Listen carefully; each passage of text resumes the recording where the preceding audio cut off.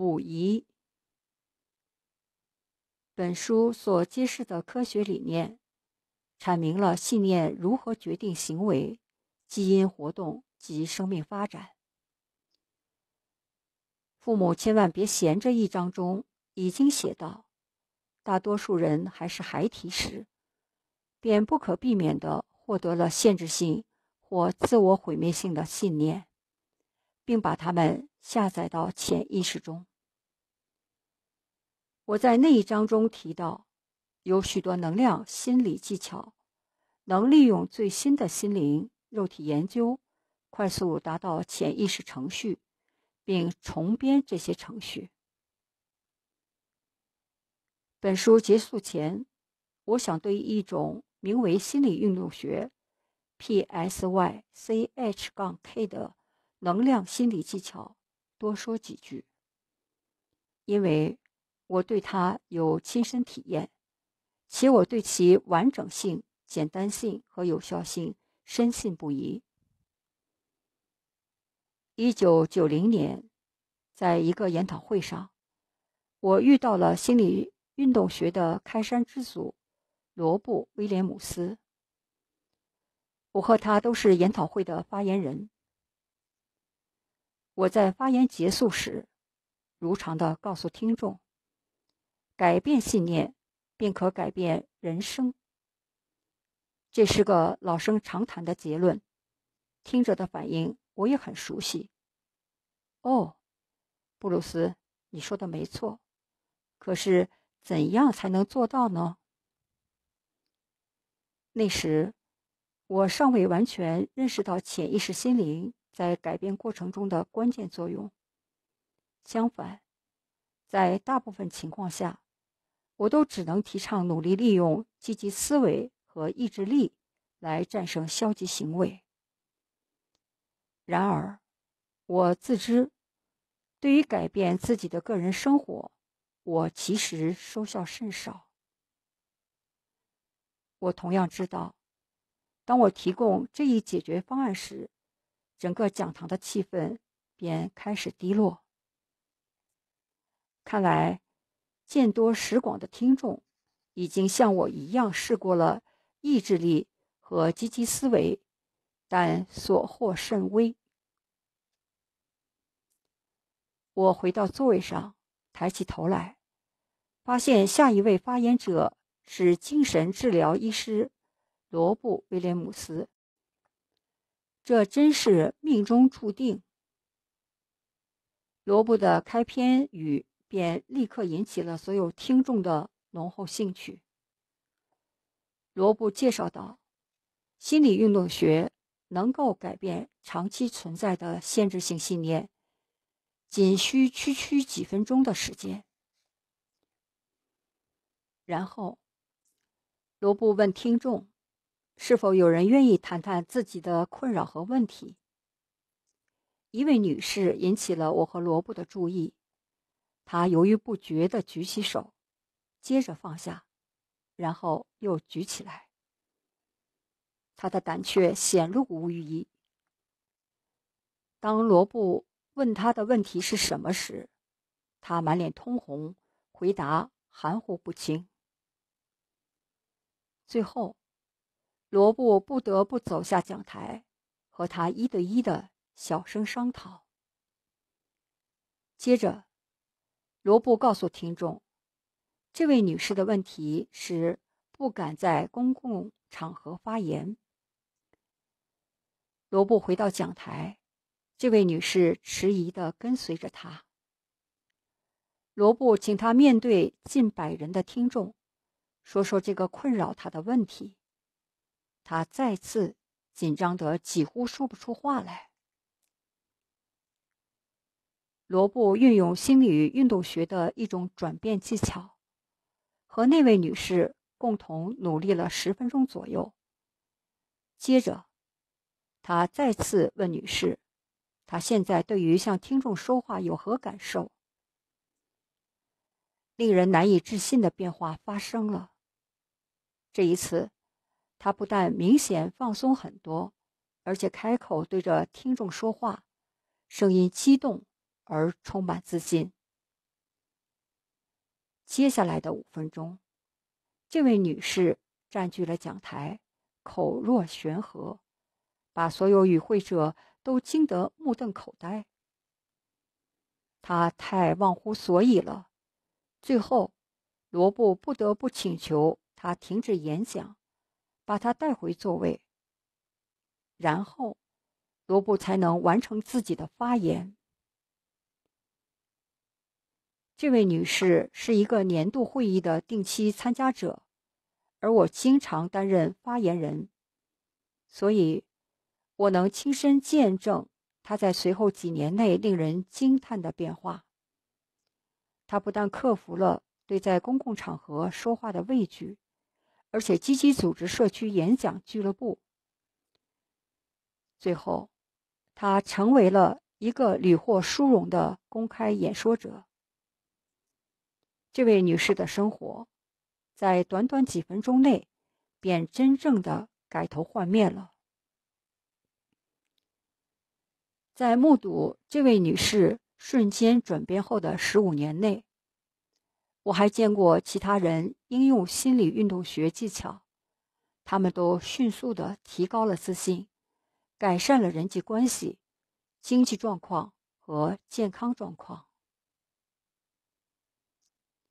心理运动学技巧的运用过程简单直接，并可验证。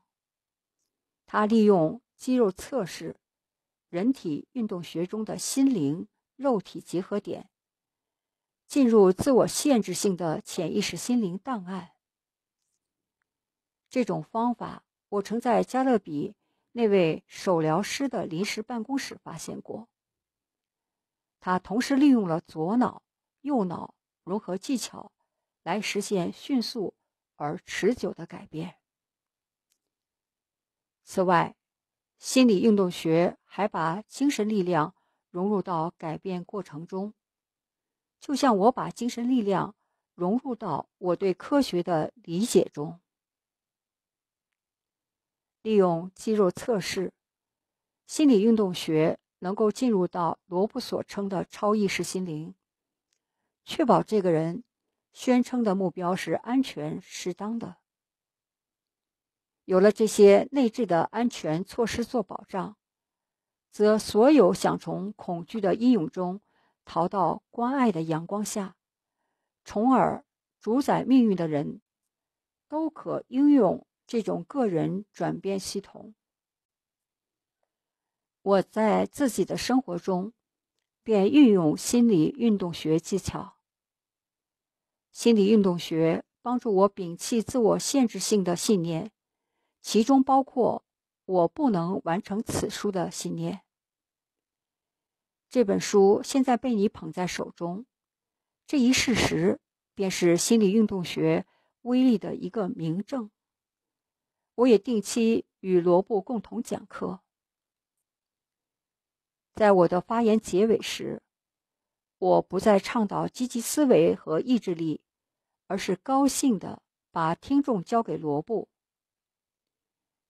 虽然本书是关于新生物学的，但我相信，心理运动学代表了迈向二十一世纪和之后的新心理学的重要一步。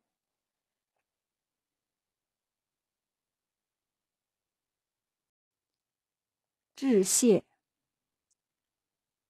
从触发科学灵感到本书问世，这期间发生了很多事情。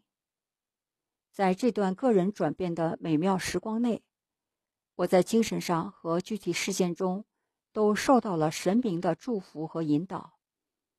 他们是赐予我艺术灵感的神灵。我特别要感谢以下的各位。有了他们的帮助，才有这本书的存在。科学之神，我要感谢科学领域的灵魂人物，因为我深知，是我身外的力量引导我，让我能把这个信息带给世界。我要把特别的祝福献给我的英雄们，让巴布蒂斯特·莫奈。拉马克和阿尔伯特·爱因斯坦，因为他们的精神力量和科学成就改变了世界。文学之神，就新生物学而写一本书的意向，早在1985年便已产生。然而，直到2003年，我遇到帕特里夏 ·A· 金，这本书才得以写成。帕特里夏是旧金山湾区的一个自由作家，曾任《新闻周刊》记者，并担任该杂志的旧金山总编辑长达十年。我永远不会忘记我和他第一次会面的情形。那一次，我塞给他一卷卷的新科学阅读材料，令他应接不暇。随后。我又扔给他数不清的未完成手稿，一捆捆我之前写的文章，一个个塞满了教学录像的箱子和一叠叠科学资料复印件。他简直穷于应付了。直到他驾车离开，我才想到，我交付给他的任务是具有纪念性意义。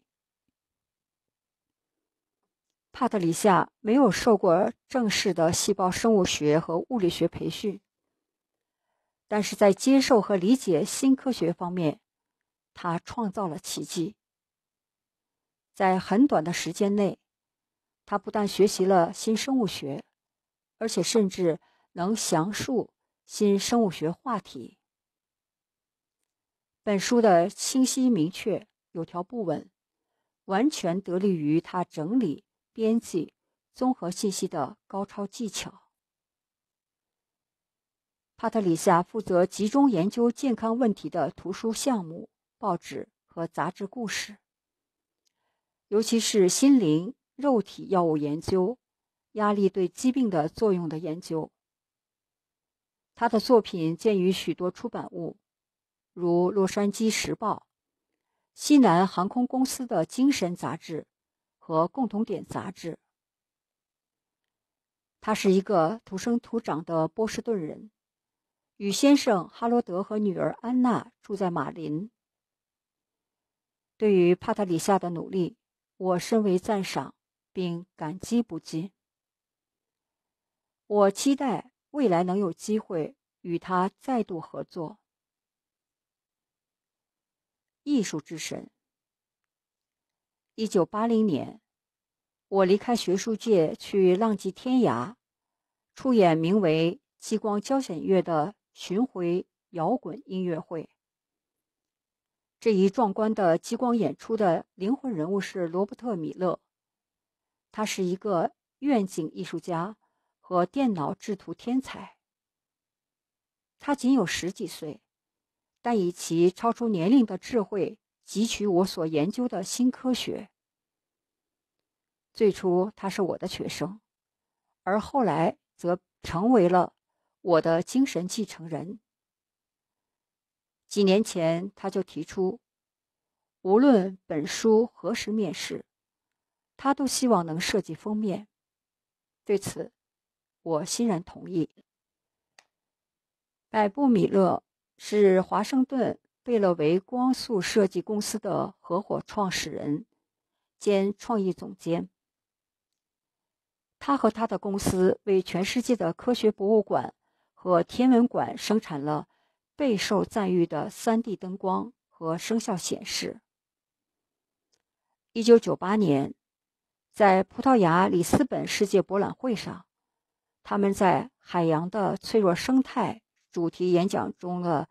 教育娱乐节目受到热烈追捧，每天都有一万六千名观众。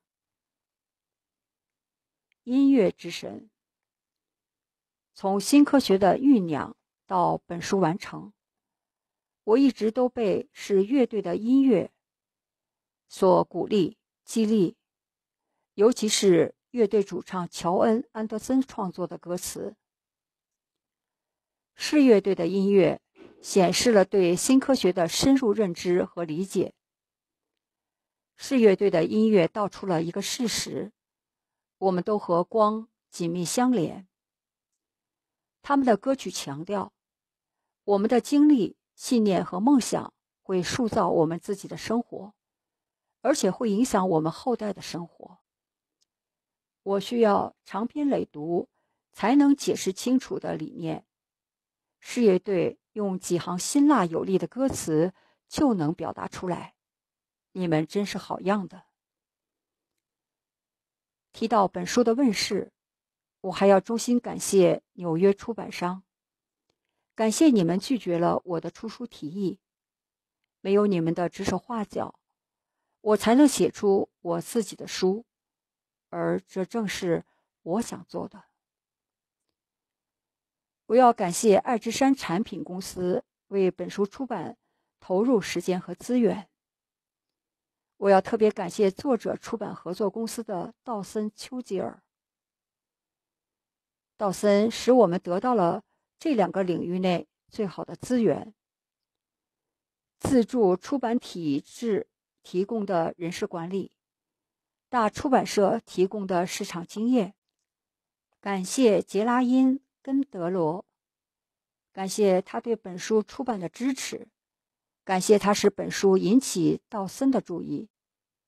还有谢利凯勒，我亲爱的朋友和公共关系专家，是他慷慨的投入时间，提供专业的编辑技巧。感谢参与我授课、演讲、研讨会的所有学生和听众，是你们多年来一直锲而不舍的追问：书呢？书呢？好好，书来了。我深深感谢你们不懈的激励。我要向几位极其重要的导师致敬，他们为我的科学生涯提供了宝贵指导。首先，也是最重要的，是我的父亲伊莱。他赋予我以目标感，而且同样重要的是，他鼓励我跳出固有的思维模式。爸爸，谢谢你。荣耀归功于我的小学科学老师戴维·邦德勒斯道夫，是他把我领入细胞世界，点燃我的科学热情。向欧文·格尼斯堡博士致敬，他无微不至的呵护我，指导我的博士阶段学习。我将永远铭记我们所分享的科学爱好。感谢西奥多·霍利斯博士，宾夕法尼亚大学。感谢克劳斯·本驰医学博士，病理学系主任，斯坦福大学。第一个理解我异端学说的正宗科学家。这些杰出的研究者在实验室内为我提供空间，鼓励支持我深入研究本书中。提出的各种观点。一九九五年，吉拉德·克拉姆，手疗师，生命手疗术西区学院的院长，邀请我执教分形生物学。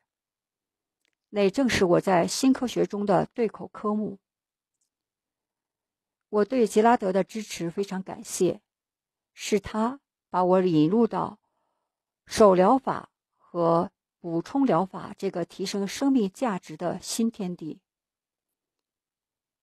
一九八五年，在本书材料的第一次公开展示会上，我遇到了英属哥伦比亚大学心理学系的荣誉副教授李普洛斯博士。多年来，李都是本书中写及的新生物学的忠实支持者和。重大贡献者，心理运动学的研发人，我的合作伙伴和受人尊敬的同事罗布·威廉姆斯，帮助把细胞科学和人类心理学桥接起来，为本书做出了不小贡献。科特·利什勒，手疗师，我的亲密朋友。一个哲学奇才，与他就科学与科学在文明中的角色的讨论，给我的生活带来了广阔认知和巨大乐趣。与西奥多·霍尔博士的合作，则使我见识到关于细胞进化史与人类文明史的密切关系的精彩见解和深刻领悟。我要衷心感谢桂格·布莱登精彩的科学洞见。对于本书出版，他也提出了建设性意见，并为本书拟写了极具吸引力的副标题。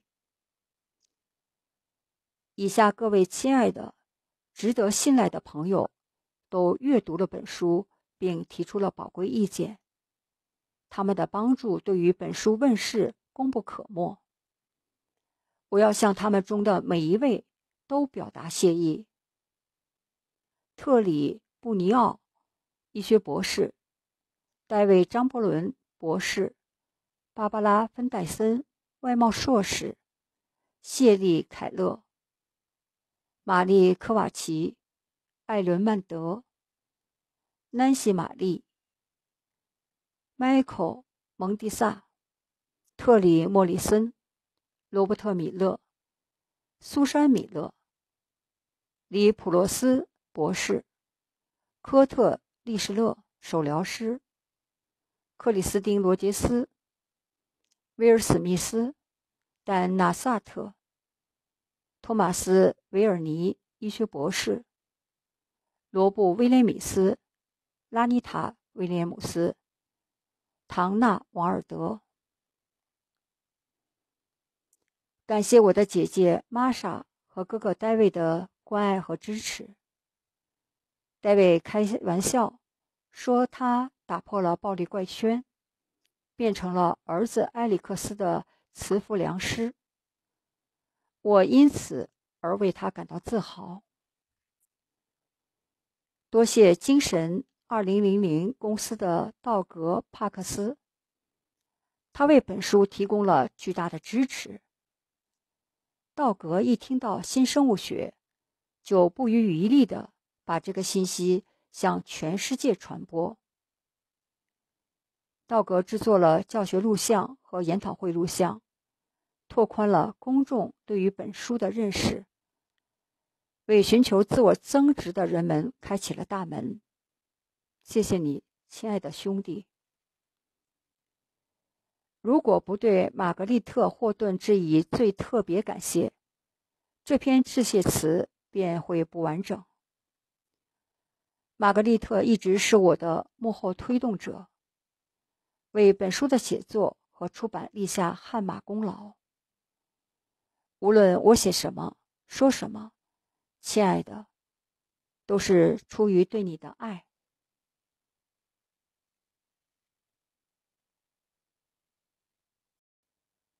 作者介绍：布鲁斯·利普顿博士是桥接与精神科学方面的蛮生国际的权威，新生物学的领军人物之一。他曾担任多个电视节目和广播节目的特邀演讲嘉宾，也是许多国际研讨会的主题发言人。利普顿博士由细胞生物学家开始其科学生涯。1973年，他从夏洛茨维尔的弗吉尼亚大学获得博士学位后。进入威斯康星大学医学院的解剖学系。利普顿博士的肌肉萎缩症研究应用、克隆人类干细胞的研究，都集中关注控制细胞行为的分子机制。利普顿博士与其同事埃德·舒尔茨博士共同开发的一项实验组织移植技术。发表在科学杂志上，后来被作为人类遗传工程的一种新形式而采用。一九八二年，利普顿博士开始仔细检验量子物理学的原理，潜心思考如何将这些原理融合到他对细胞信息处理系统的理解中。随后，他提出了突破性的细胞膜研究。研究揭示，细胞的外层是一个等同于计算机芯片的器官，相当于细胞的大脑。他于1987年到1992年间，在斯坦福大学医学院的研究揭示，通过细胞膜运作的环境能控制细胞的行为和生理，打开或关闭基因。他的发现与基因控制生命的既定科学观背道而驰，但却预言了当今一个最重要的科学研究领域。表观遗传学源于表观遗传学研究的两个重要科学出版物，定义了连接心灵与身体的分子通路。其他研究者后来发表的许多论文，也都证实了利普顿博士提出的概念和观点。利普顿博士独辟蹊径的科学方法，同样。也改变了他的个人生活。他对细胞生物学获得了深邃的理解，这种理解突出强调心灵支配身体机能的机制，暗示一种不朽精神的存在。他将科研心得应用到个人的生物学中，发现他的身体健康日渐改善。日常生活的质量与特征也大大提高。利普顿博士一直致力于向公众传播其备受赞誉的医学院课程内容，最近更是成为广受欢迎的主题发言人和研习班授课人。他为传统医学、补充医学的专业人士及非专业人士讲课。讲授前沿科学及前沿科学如何与心灵、身体医学和精神原则吻合。成百上千的观众应用了他在授课中讨论的原理后，促进了精神、身体和心理安康。同时，这些佳话美谈也令他大受鼓舞。